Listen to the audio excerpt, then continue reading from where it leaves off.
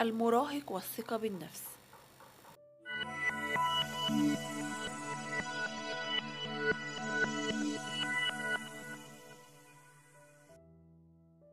تأتي مرحلة المراهقة كواحدة من أكثر الفترات المحيرة على مدار العمر. فالمراهق تظهر عليه علامات الرجولة لكن ما لا يعلمه الآباء أن مخ المراهق لم يصل إلى مرحلة النضج بعد.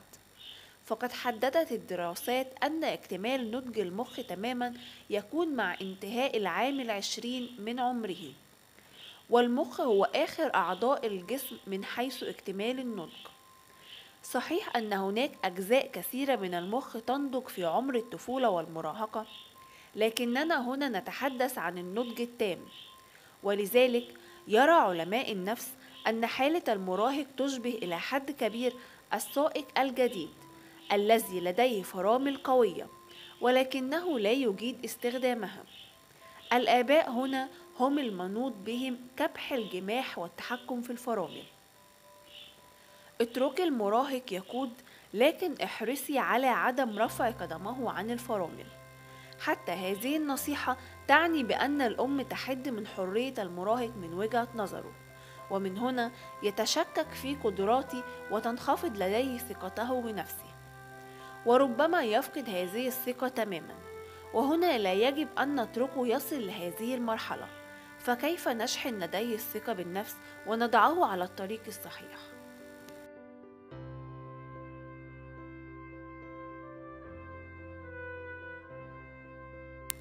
أولا عليك التحلي بالصبر. في دراسة أجريت مؤخرا وجد أن سبب تسرع واضطراب المراهق يكمن في علمه المسبق بأن الكبار لا يتحلون بالصبر ولن ينتظروا منه التجريب لأكثر من مرة. ربما تكون هذه الحقيقة واضحة لدى جميع الأبناء وخاصة عندما نطلب من المراهق الإجابة على سؤال معين في مجال الدراسة. فيقوم بكتابة الإجابة بطريقة مسرعة أشبه بالهرولة.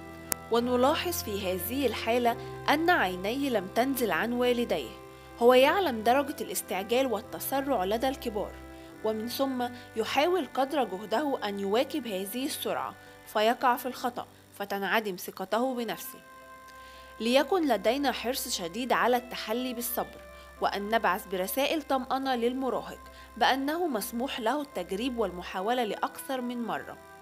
ليس هذا فحسب بل لابد وأن يفهم أن هذه المحاولات المتكررة أمر طبيعي للغاية ولا تنقص من قدره شيئا.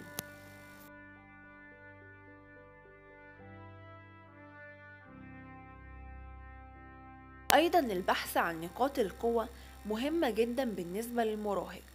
من أهم الطرق التي تدعم لديه الثقة بالنفس أن يشعر بأنه مميز في جانب معين دون غيره وحتى الكبار تزداد لديهم الثقة بالنفس كلما أجادوا استخدام مراكز القوة لديهم.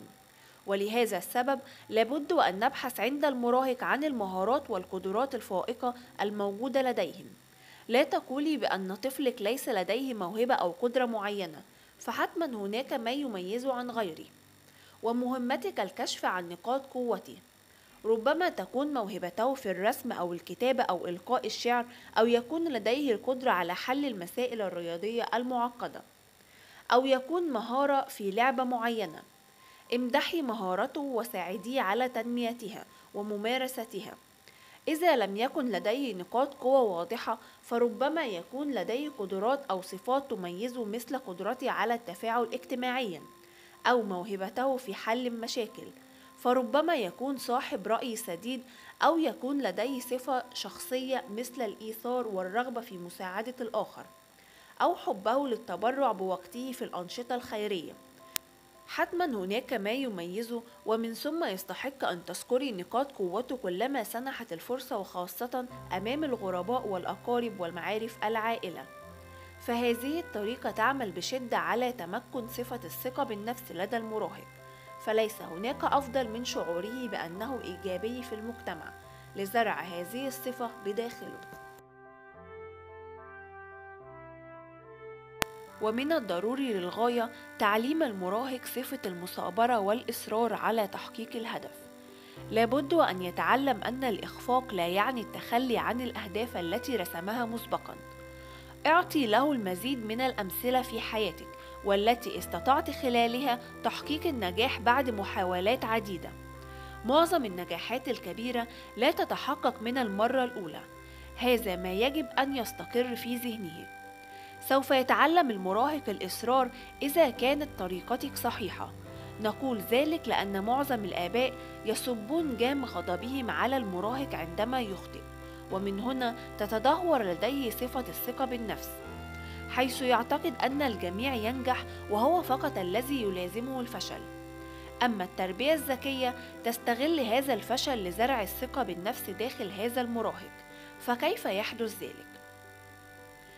فور التحقق من فشله في أمر معين لابد وأن نتحدث إليه في هدوء شديد محاولين الوصول معه إلى أسباب الإخفاق لتكون واضحة أمامه بعد ذلك نناقش معه أيضا الدروس المستفادة من هذا الفشل ونكتب هذه الدروس أمامه أيضا.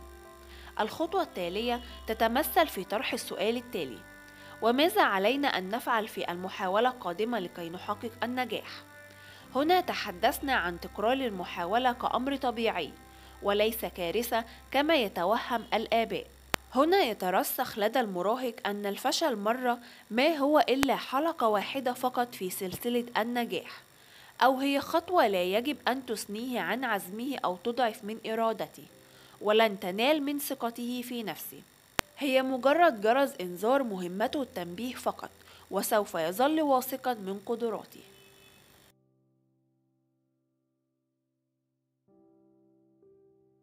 كما أن المواقف الحياتية هي التطبيق العملي للتربية والأساليب النظرية التي نتبعها مع الأبناء. ولأنها خبرة عملية فإن تأثيرها على الأبناء يكون قويا ومؤثرا للغاية. فموقف واحد فقط يتعلم منه المراهق أفضل من مئات المحاضرات النظرية. ولذلك مطلوب منك منذ الصغر وضع الطفل عن قصد في مواقف تعزز من ثقته بنفسه. بالنسبة للطفل بعد التسوق قومي بتسليمه الأموال واطلبي منه أن يحاسب الكاشير يبدو هذا التصرف طبيعيا بالنسبة للمراهق لكن تكليف المراهق بمهام أكبر يساعده على التمكن من صفة الثقة بالنفس. اعتمدي عليه في حمل مبلغ من المال مثلا عند الخروج في صحبتي من البنك. قللي من تسلطك على تصرفاته. اتركي له العنان كي يختار ملابسه وديكور وألوان غرفته. مارسي أمامه مهارات الثقة بالنفس مثل النظر في عين محدثيك. والدخول إلى مجتمع من الناس ورأسك مرفوع وابتسامتك تملأ وجهك. مع إلقاء التحية على الجميع.